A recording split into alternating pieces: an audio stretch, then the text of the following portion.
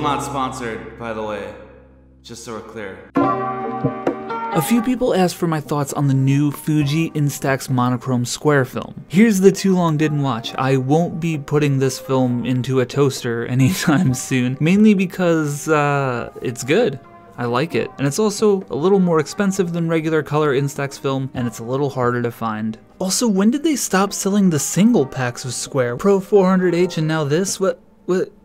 What's happening? I've used Fuji's Instax monochrome in wide and mini formats, so having it in square was a very welcomed addition to the family. I'm actually surprised more people on here aren't talking about the release of this film. It might actually be because this shit is hard to find. It's been sold out for a minute. I got lucky and ordered a few packs of it right when someone commented asking me to talk about it, but pretty much since then it's been back ordered. And of course, just as I'm screenshotting this for the video, it's now back in stock, but hey, go, go, go, go get some. Instax monochrome is a black and white film that features neutral gray tonality and normal contrast with natural shadow and highlight response when used under daylight or electronic flash lighting conditions, and its refined grain structure provides high image sharpness and clarity. That's a mouthful, but what does it mean? Well, it's got some nice contrast, it's got some nice grain, it's a black and white film, that's what they're trying to say. And I just want to make a quick distinction here about the monochrome name. Monochrome photography displays a single color or shades of a single color. The entire image is represented by differing amounts of light instead of different hues. So black and white photography is monochrome, but not all monochrome photography has to be black and white. This is. This is. This is. What? This is boring. Scott is absolutely right, no one cares about context these days. Let's talk about the photos. The Instax monochrome film has a very classy and almost timeless feel to it. I really love the look, the contrast is wonderfully moody.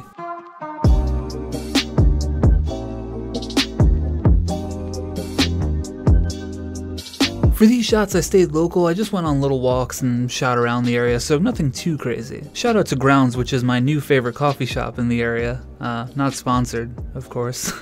and I took all these photos with the Lomography Diana Instant Square and the Instax SQ6. Review will be coming eventually for the SQ6, but gotta be honest, I don't enjoy using it very much. Similar to Instax color film, the Instax monochrome film is rated at ISO 800. And speaking of the color film, I think it's a good time to compare the Instax color to the Instax monochrome. Of course, we'll use a gas station for this example. Hmm, yes, very interesting. It seems one lacks saturation. Alert the scientists, this is a very interesting...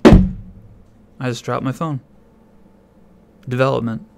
Interesting development was the joke there. One other thing I noticed when I was scanning these photos, the new monochrome film has a message on the top that says, don't put in mouth. Uh, I guess that's a, a problem for Fuji now that people have just been eating the color film. In my experience, the Fuji Instax film is super reliable. It works consistently in all sorts of scenarios, and honestly, I don't even keep mine in the fridge. I'd recommend not keeping them in the glove box of your car on a hot summer's day, but in my experience, Fuji Instax is nowhere near as finicky as the Polaroid film. In fact, me saying things like that is what gave birth to the toaster video, but be warned, that is not for the faint of heart. If, if you're not into horrible destruction, then don't watch that video. well, I would say this video went really well. This was a success, in my humble opinion.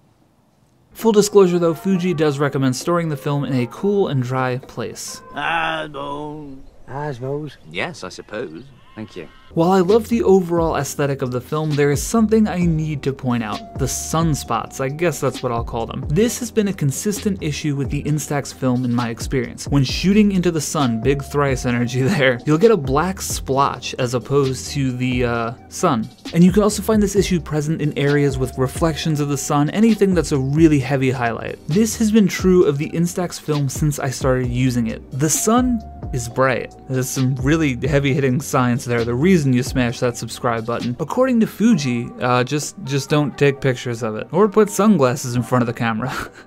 okay. But when you compare this side by side to Polaroid, I don't know. I don't know, man. It looks like they figured it out. So when you get down to it, actually, I guess in this scenario, Polaroid is thrice, and Fujifilm is Lamb of God. And just for the fun of it, here is a nice little size comparison of all the instant films I have handy. Instax Mini, Instax Square, Instax Wide, Polaroid, Polaroid Spectra, Banana for scale. And just to round this video off in a very full circle nostalgic manner, some of you who have been here a while might remember my Fujifilm Instax Wide 300 review. Which, by the way, 100,000 views, are you guys kidding me? That's that's crazy, thank you so much. But at the end of that video, I went to a waterfall in Connecticut, it was all frozen, I shot some monochrome Instax wide film on that day, and now we go back. Only this time it's it's square film, not wide. But it's still frozen and it's still cold.